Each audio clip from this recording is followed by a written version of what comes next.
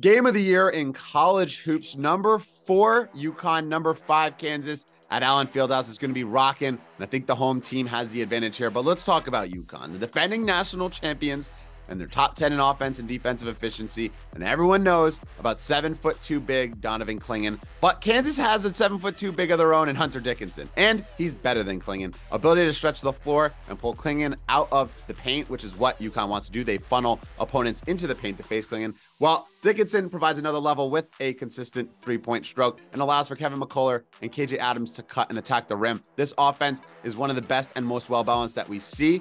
The only issue would be is if their depth and foul trouble become an issue, or if UConn goes nuclear from the perimeter. But I'm willing to bet against that happening. I'm willing to bet on Kansas that's already had top matchups against Tennessee and Marquette. So give me the Jayhawks here. We're gonna fly with the Hawks at home, minus two.